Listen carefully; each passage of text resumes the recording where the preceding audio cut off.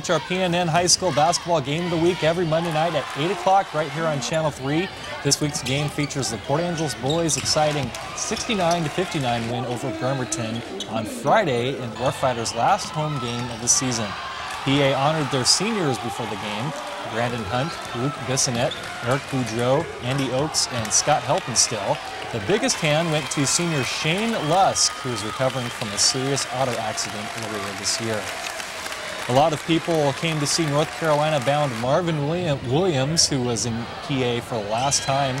It wasn't one of his best games, but the highly touted senior still managed to score 28 points and gather 14 rebounds and 7 assists.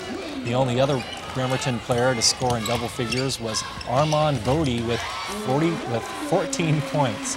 PA played one of their best games of the season. Scott Helpenstill had 19 points. The shots fell for Jeff Hagwood, who had 14 points. Kevin Konopowski had 12, and Brandon Hunt had a great game with 10 points. Greg Thomas talked with Coach Lee Sinnis and Scott Helpenstill after the game.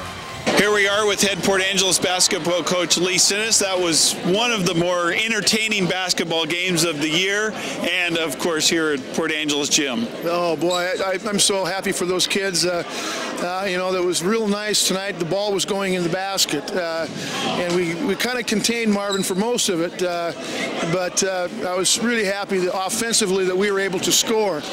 So that uh, kind of negated some of the off offensive scoring that he was doing. What was it like to be out here on the home floor for the last time for you, Scott? Oh, it was great having all the fans support us, and I'm just glad all of our all my teammates played as well as they did. It's the best game we've had all season, so it was great.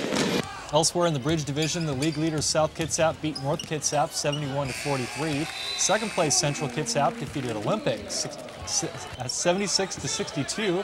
The Trojans are tied for third with Shelton, who fell to Gig Harbor 52 to 41. With the help